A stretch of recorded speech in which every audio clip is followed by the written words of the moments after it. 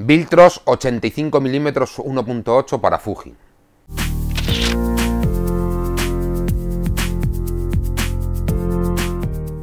Pues sí, es una lente que ya lleva un tiempo en el mercado, no siempre podemos hacer los vídeos allí con el, tiempo que nos gustaría, pero bueno, no quería dejar de hacerlo porque realmente me parece una óptica interesante. Eh, no hace mucho tiempo eh, analizábamos los 85 milímetros quizás más idóneos que hubiera, pudiera haber para, para el sistema de Sony E, para las cámaras full frame. Curiosamente este Viltros también existe para ese tipo de montura y curiosamente, bueno, pues en aquel caso el Tokina 85 mm, 1.8 con el cual al tenerlos aquí parecen hermanos clónicos. Aquí pues, siempre está la típica cosa, o estas son las cosas que a veces ocurren en este mundo de la fotografía, que nos encontramos con cosas muy semejantes y que probablemente no sé hasta qué punto eh, están fabricadas por los mismos. Pero en cualquier caso, eh, quería centrarme en el Fuji, porque realmente sois muchos los que me preguntáis, o en la montura de Fuji de este 85 de Viltros, sois muchos los que me preguntáis y con, con razón, ¿no? El por qué, tampoco sé la respuesta pero no son muchas las opciones que tenemos eh, no originales para la montura Fuji X. Eh, es cierto que toda la gama de productos Fuji eh, o todos los objetivos Fuji son bastante amplios. Por aquí atrás tenemos la vitrina que tenemos habitualmente en la tienda, que tiene objetivos maravillosos como este 56 1.2 para el mundo del retrato. Pero también es cierto que el precio de este tipo de lentes a veces, sobre todo estas más altas de gama, pues es bastante caro. Y esto lo que tiene gran ventaja el Viltros 85 1.8 para Fuji, realmente si tiene una cosa buena es un precio muy ajustado, estamos hablando de una óptica en torno a los 390 euros, 385 creo que son, pero en cualquier caso una óptica muy muy, ajustada en cuanto a, euros, eh, cuando era la comparativa con los Sony, si aquel Tokina lo puse mejor porque realmente me parecía que esa relación calidad-precio era francamente buena y aquí pasa un poco lo mismo. Eh, si queréis un objetivo para el mundo del retrato, para el cual está eh, destinado concretamente y como os podéis imaginar esta distancia focal, si bien es cierto que, ojo, al ser compartido el mismo esquema, el mismo tipo de objetivo, eh, por un lado para montura Sony E, es un full frame, y bien para una PSC, como es la montura Fuji X, en esta Fuji X-T3, que es donde he querido poner este, este Viltros, pues eh, hay que tener en cuenta que equivale prácticamente a un 130 milímetros, o sea, con lo cual es un tele eh, corto todavía, se podría llegar a decir, pero no deja de ser un tele ya eh, de mundo del retrato y que nos pueda permitir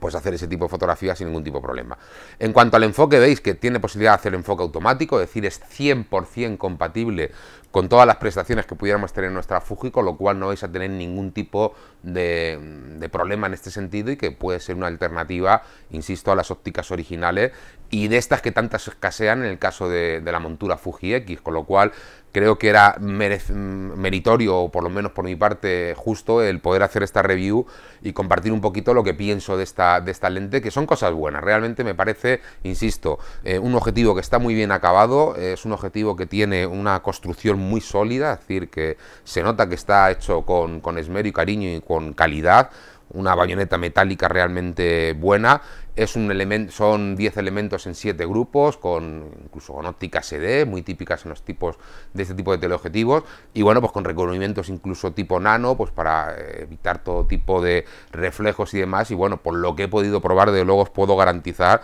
que es una lente que se comporta francamente bien y que el resultado final pues eh, teniendo en cuenta siempre ese precio que el que estamos pagando por él, pues creo que es más que suficiente para muchísimos usuarios a un nivel aficionado, incluso pues a niveles más altos, pues puede cumplir perfectamente el papel y bueno, pues tener un 130 milímetros por este precio yo creo que es una cosa muy a tener en cuenta. Eh, enfoque automático decíamos compatible, pero si hacemos o ponemos la máquina en enfoque manual, tenemos este gran aro con el cual saben se puede hacer un enfoque manual bastante eh, eh, fácil porque realmente el aro es bastante, bastante grande. El diámetro este delantero que veis aquí de lente es de 72 milímetros, no deja de ser una óptica muy luminosa y por tanto tiene eh, cierta boca y que bueno pues hace que el diámetro sea grandote. El objetivo en sí sí que es grande y diría que incluso un poquito pesado, sobre todo si tenemos en cuenta la gama y ya este es el 56 1.2 pero no digamos la gama de objetivos más pequeñitos que tenemos en Fuji, sobre todo todas estas serie eh, F2 que bueno, por eso hacen ser tan ligeritos que a veces cuando le ponemos un objetivo eh, un poquito más grande pues parece que todo se descompensa un poquito más. Pero no es exagerado, es decir, es un poco más pesado, sobre todo si tenemos en cuenta a lo que estamos acostumbrados en la montura Fuji X, pero de luego os puedo decir que cuando lo estás trabajando con él, yo lo veo que es mucho más que ajustado y que se, se queda relativamente bien equilibrado. Nueve palas redondeadas es la forma que tiene de tener el diafragma el objetivo, todo esto siempre ayuda, junto con un f1.8, pues a tener un efecto de desenfoque de fondos, efecto bouquet, pues tan, digamos, extendido en el mundo del retrato y que también se va buscando mucho por estos retratistas que hacen que, que sea bonito, sea bonito y que de luego nos encontremos con una óptica en ese sentido, pues fantástica también. Eh, Viltros no se queda solo aquí, realmente yo conocía mucho la marca y tenía mucha muy buena referencia eh, por el tema de los adaptadores, ya sabéis que tampoco soy muy amante del tema del adaptador o tengo por lo menos una opinión eh, muy formada de ellas, pero bueno, es cierto que tiene una gama bastante amplia de los mismos y bueno, este que había abierto, no sé si era, oh, estaba por aquí,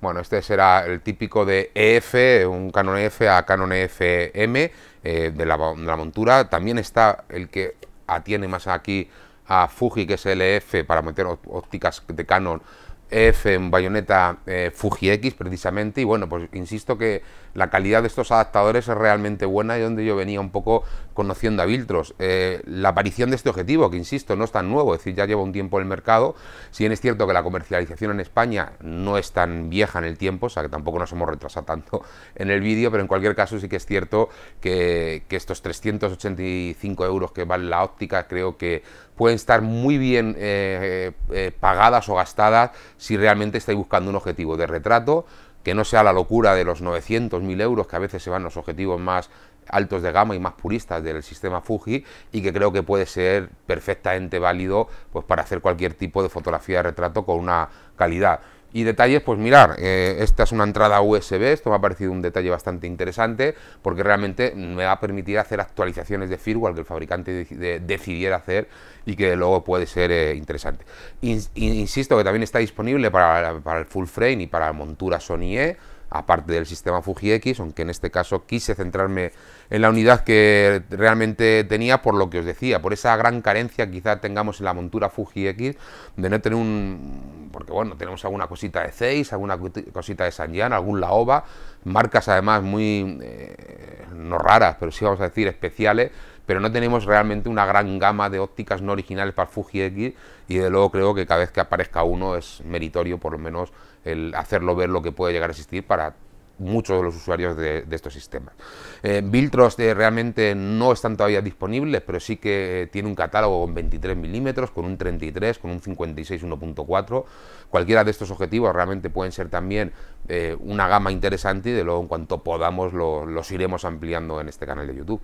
Así que nada más, fotografinautas, si os ha gustado el vídeo os pido el like que siempre hago, que nos sigáis en estas redes sociales de aquí abajo,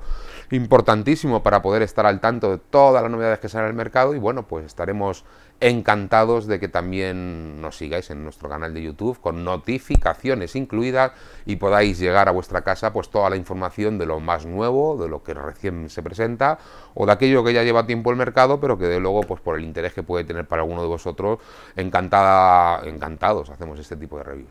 Lo dicho, fotografinautas, nos vemos en próximos vídeos. Hasta luego amigos.